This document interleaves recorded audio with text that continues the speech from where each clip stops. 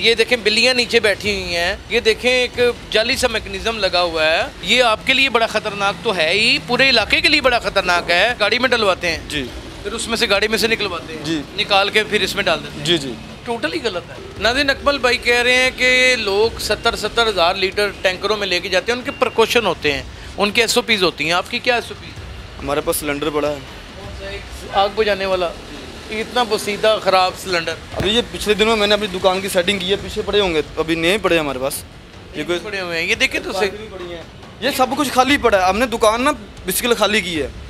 तो ये सारा भाई ये देखें इसमें कुछ नहीं सत्तर से अस्सी लीटर लगा हुआ है।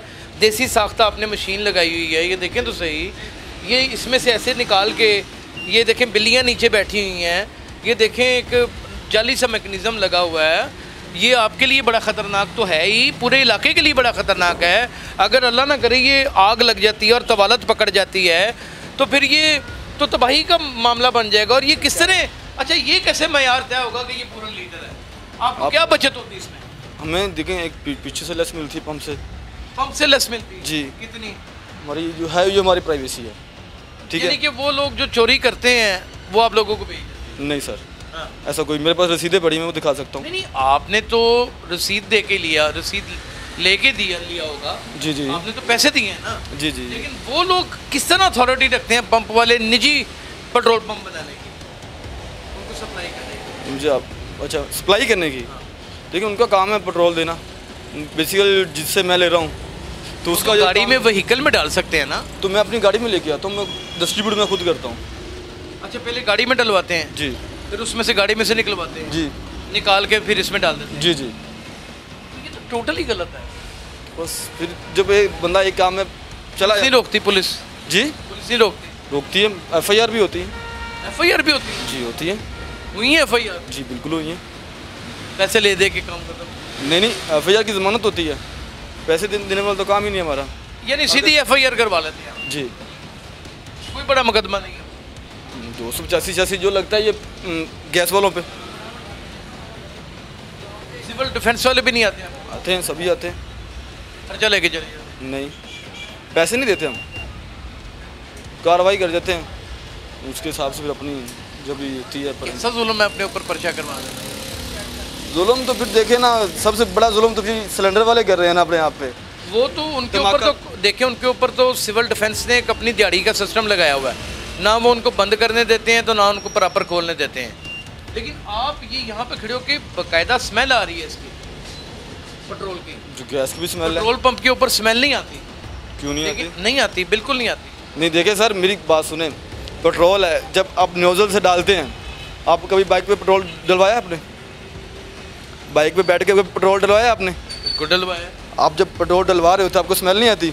भाई अकमल भाई ये तो सारे हीले बहाने हैं ना। नहीं बहाने नहीं सर। आप मुझे आप बात का अब भी आप जवाब लेकिन वो एक माइनर सी फर्दर टाइम बिंग होती है तो सर तो देखिए हम मुसलसल आ रही आ मैंने मुसलसल पेट्रोल डाल रहा हूँ। ना दिन हम अ, अब या तो इसको नौकरी दें। प्रॉपर जो पक्की बात है। नौकरी हुकूमत दे नहीं रही। पढ़ा लिखा नौजवान है। उसने को रुपया छः सात लाख रुपए लगा के एक ऐसा काम कर लिया जिसमें उसको चार पैसे बच भी जाते हैं। लेकिन वो इतना ख़तरनाक और मौत के कुएँ वाला काम है कि अल्लाह ना करे कि यहाँ पर अगर आग लग जाती है तो कोई इफ़ेक्ट हो या ना हो सबसे पहले ये बंदा अफेक्ट होगा। ये यंग लड़का है जवान बच्चा है पढ़े लिखे हैं ना आप? जी जी। और ये नाजायज़ पेट्रोल की एजेंसी चला रहा है। अब मैं इसे सारे कसूर इसी के ऊपर थोप दूँ कि तू ही गलत है माशरे का चोर है ठग है तुझे शर्म आनी चाहिए, ये कर दूँ।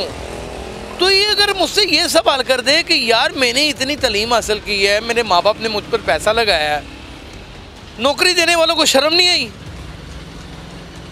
तो फिर मैं इसको क्या जवाब दूँगा? यानी कि हमारे यहाँ आवाम भी गलत है आवे का आवा ही बिगड़ा हुआ है, कुछ ठीक नहीं हो सकता।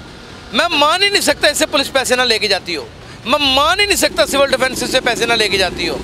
बार बार तंबी कर चुके हैं कि खुदा ना इसका को सद्देबाब करें। चले, इनको ज़बरदस्ती रोक लें और इनको मजबूर करें कि हम भी आते पैसे डालते हैं आते आप डालें, आपको बादल रिस्क दे देते हैं। जब तक हुकूमत खुद कोई कदम इन लोगों के लिए नहीं उठाएगी, तब तक ये जुर्म ख़त्म नहीं होगा। इसी तरह चलता रहेगा, एक कड़ी से दूसरी कड़ी जुर्म का हिस्सा बनेगी और ये जुर्म की अमाज का बन जाएगी। अपना बहुत ख्याल रखिएगा, अल्लाह हाफिज़।